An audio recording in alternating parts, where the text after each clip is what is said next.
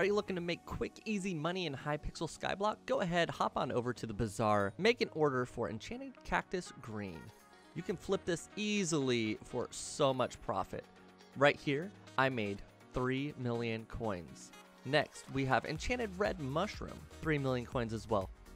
Now, this one does cost a lot of money, but you can make huge profit. Look at this 14 million coins for this compost bundle. Go ahead, check it out, and enjoy your millions.